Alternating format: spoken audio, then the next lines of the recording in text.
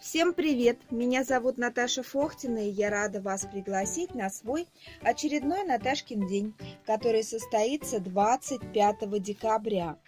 Приходите на этот открытый урок, мы будем с вами тестировать различные материалы, а, меловые краски, жидкую поталь, эпоксидную смолу и будем создавать из этих материалов интересные а, вещицы. Если вы не знаете, что себе подарить на Новый год, смотрите мой урок.